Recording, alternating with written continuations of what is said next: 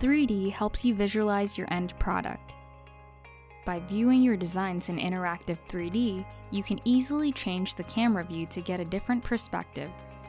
And if your board has any flex regions, you can easily bend your design to see how it comes together for assembly. Sometimes you may only want to view a specific area of your design, like when creating images for service documentation or a presentation. With a simple window select, you can isolate a selection to view an interactive 3D. Here, 3D helps verify if the LEDs are placed with enough spacing and clearance. Running collision detection helps find and fix any issues within your 3D CAD system.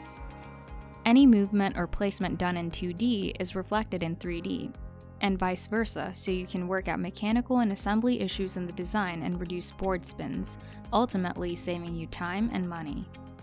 Verifying and validating your connections is a breeze with adjustable solder mask transparency. And it's also easy to enable the cutting planes to visualize all your board elements so you can view your final product from different perspectives.